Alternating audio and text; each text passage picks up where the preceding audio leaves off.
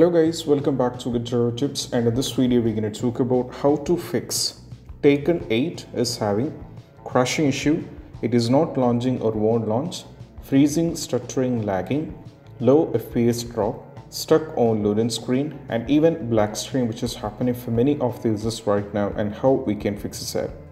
The game released last day, I mean a few hours back and users are using and they're facing this trouble if you're having any one of this trouble, you can try these steps and that will be working. The first one is all about we have to do a restart on your system. So to do this, we just need to go over here in the start, click on this particular icon, go to the power icon over here and go for a restart. Once the restart is done, just try launch the game.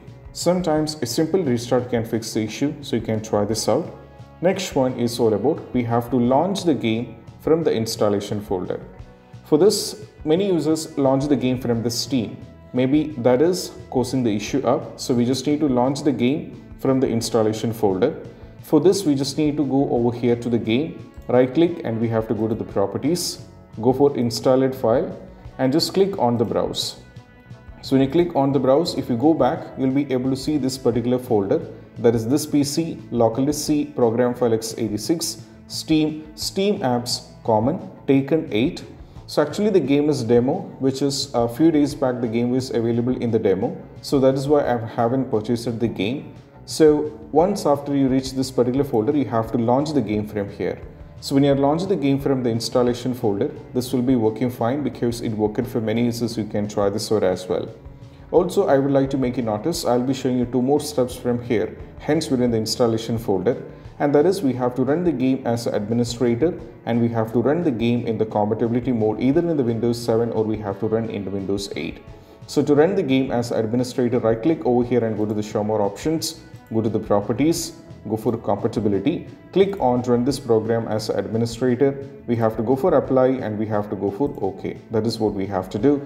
Next one, we have to run the game in the compatibility mode, right click and go to show more options, go to the properties, for compatibility. Click on run this program in the compatibility mode. We have to set this to Windows 7. First, go for apply and check with, you can also try check it with Windows 8 and go for apply as well. Once you're done with this one, just close everything and we have to go back and try launch the game. Next one is all about, we have to make sure the date and region is correct, which is very important. Not only the date, time and region is correct.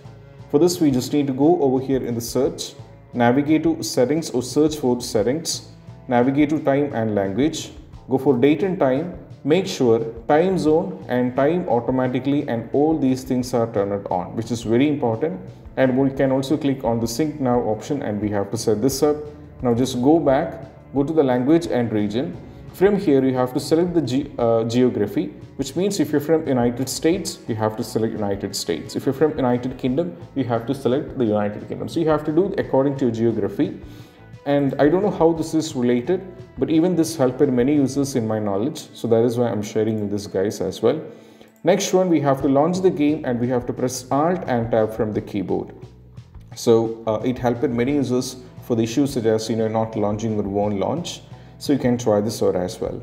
Next one, we have to delete the saved game file. So uh, for this, we just need to go over here in the game, not here. I'll be showing you this. Just go over here in the file explorer.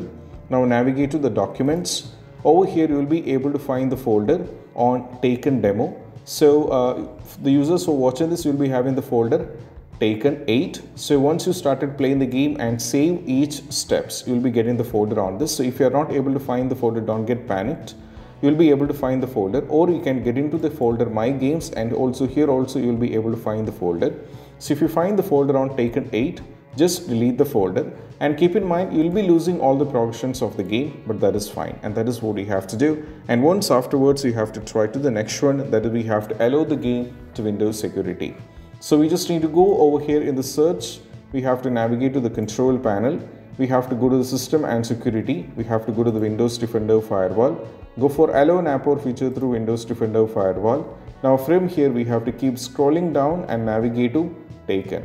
So keep scrolling down and navigate to the Tekken 8. So keep on scrolling over here as you can see. The game is already there and it is already added so there is no fine uh, issue with it. But sometimes you know the game will be added but these checks will not be marked. So we have to make sure both the private and both the public both has to be marked.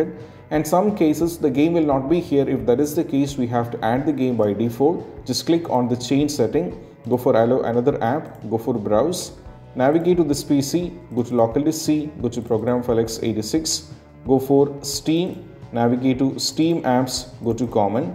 Now from here we have to navigate to Tekken 8 keep scrolling down go to Tekken 8 select this one and go for open and we have to add it I'm getting the error because the game is already added. So once the game is successfully added, we just need to close everything and we have to go back and try launch the game. Next one is all about we have to unplug all the USB devices. So we might be connected with a lot of things. For example, you know, uh, we might be connected with uh, multiple monitors. We might be connected with, uh, I have to say, controllers, Logitech wheels, and all these kinds can even cause the issue up. So if that is the case, just remove the unwanted things. We have to remove the unwanted things. Even the joysticks, even if you're playing it, just remove everything, launch the game. Once the game is launched and you are in the game, you can connect it back and try playing the game. Next one is all about we have to perform clean boot. So just go over here, navigate to the system configuration over here, just search for system configuration, go for services and go for click on hide all Microsoft services and we have to go for disable all. Go for apply and go for ok they're going to ask you for restart. So let me do one thing. Just go over in the system configuration services go for disable all go for hide all Microsoft services go for apply and go for ok they're going to ask you for restart. The users who are watching this just go for restart. But i'm to go for exit without restart because we're in the middle of shooting so just go for exit without restart.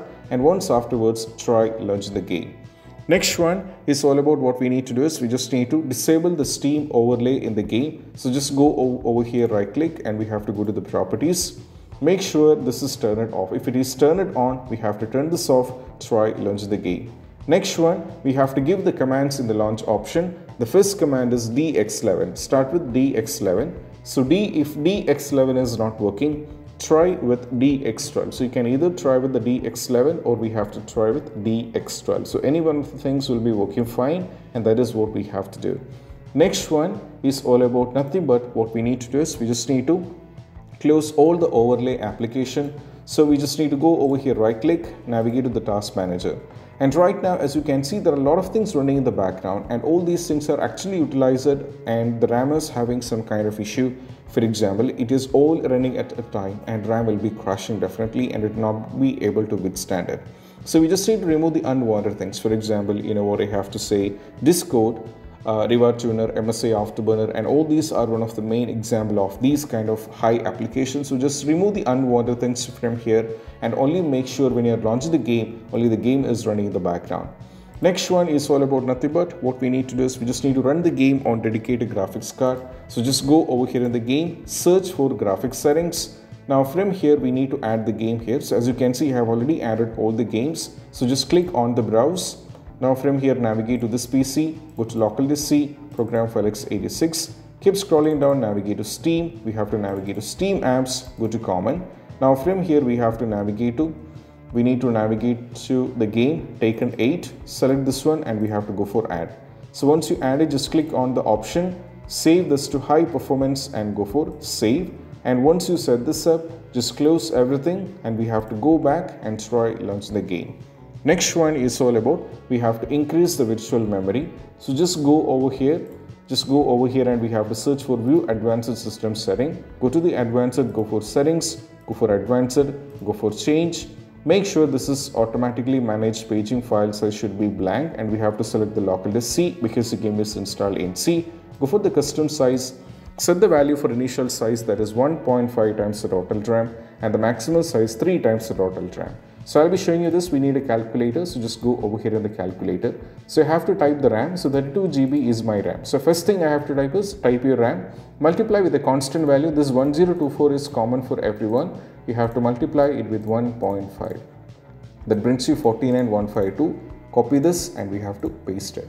Next one, the maximum size that is 32 GB multiplied with 1024 and we have to multiply it with 3 that is 98 304 and we have to copy this and we have to paste it and once it has been set we just need to close this and we have to go back and try launch the game next one we need to update the windows so just go over here go to the settings go for windows update just update the windows and once you update the windows try launching the game because windows has to be up to date next one we can need, you need to update the graphics card which is a very important step so i'll be providing both link for the nvidia as well as to the amd users the NVIDIA users has to go over here and select everything like the product type should be selected, product series should be selected. So it's according to your configuration.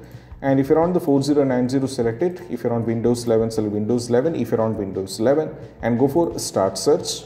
And when you go for start search, what happens is you will be getting the latest released version.